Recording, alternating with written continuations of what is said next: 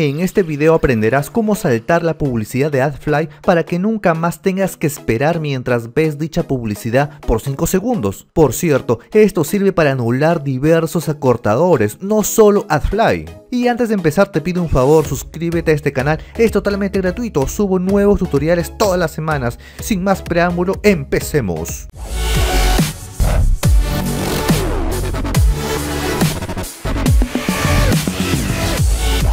Y exactamente lo que haremos es instalar una extensión gratuita que funciona en el navegador Google Chrome y debajo de este video te dejaré el enlace respectivo para que puedas ingresar a esta extensión y procedas a instalarla. Y una vez que ingreses presionas en el botón agregar a Chrome.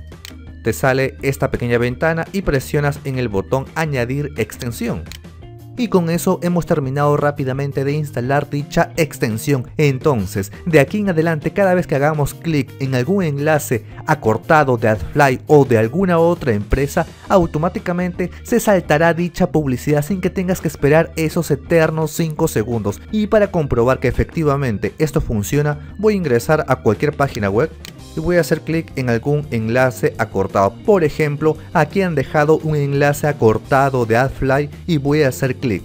Y fíjate, automáticamente me llevó al sitio web sin que tenga que haber esperado esos 5 segundos. Eso quiere decir que esta extensión funciona perfectamente y eso sería todo lo que tendrías que hacer para que de aquí en adelante nunca más tengas que ver esos molestos anuncios de AdFly. Y antes que te vayas, no olvides suscribirte si todavía no lo haces, es totalmente gratuito. Asimismo, si este video te sirvió, apóyame dándole me gusta, eso me ayudará para seguir creando más tutoriales. Y si tuvieras alguna pregunta, déjala en los comentarios, con gusto la responderé. Nos vemos en un próximo video. Mi nombre es Ronald Vázquez.